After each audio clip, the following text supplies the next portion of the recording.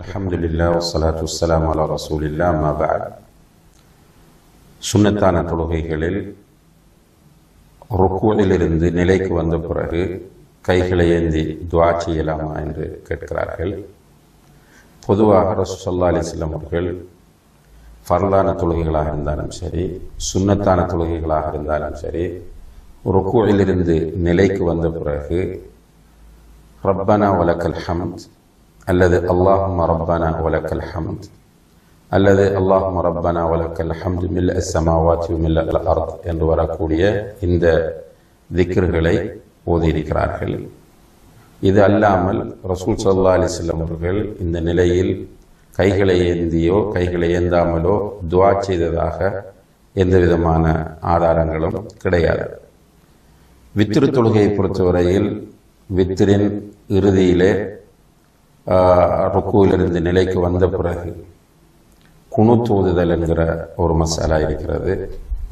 இந்த மசாலாவை பொறுத்தவரையிலும் கருத்து வேறுபாடு காணப்படுகிறது. ரசூல் சல்லா அலிசல்லம் அவர்கள் வித்திரு தொழுகையில் குணு தோதியதாக எந்த விதமான ஹதீஸ்களும் கிடையாது. வித்திரை அவர்கள் பிரயாணத்தில் கூட விடாமல் செய்து வந்த ஒரு தொழுகை என்பது நாம் எல்லோரும் அறிந்ததே. அந்த அளவுக்கு அந்த செய்தி வித்தரோடு தொடர்பான முதல் ரக்காத்தில் நோதுவார்கள் இரண்டாவது ரக்காத்தில் நோதுவார்கள் மூன்றாவது ரக்காத்தில் நோதுவார்கள் என்பன போன்ற எல்லா செய்திகளும் வந்த போதிலும் ரசூல் சல்லா அலிஸ்லாம் அவர்கள் வித்திரு தொழுகையில் ரொக்குவுக்கு பிறகு குணு தோதினார்கள் என்கிற எந்த விதமான செய்தியும் கிடையாது.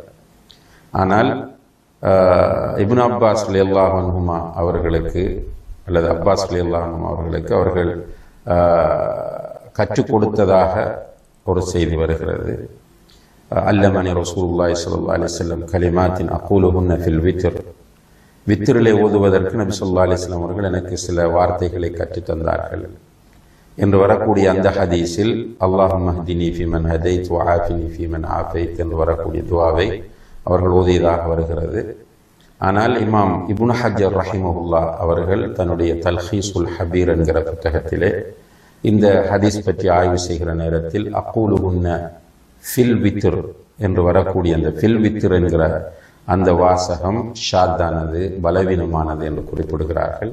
எனவே அல்லாஹ் மஹ்தினி என்கிற ஒரு பொதுவான துவாவை அல்லாஹுடைய தூதர் கற்றுக் கொடுத்தார்கள். வித்திரில் அல்ல என்பது அவர்களுடைய நிலைப்பாடாக அதன் மூலம் வெளிப்படுகிறது.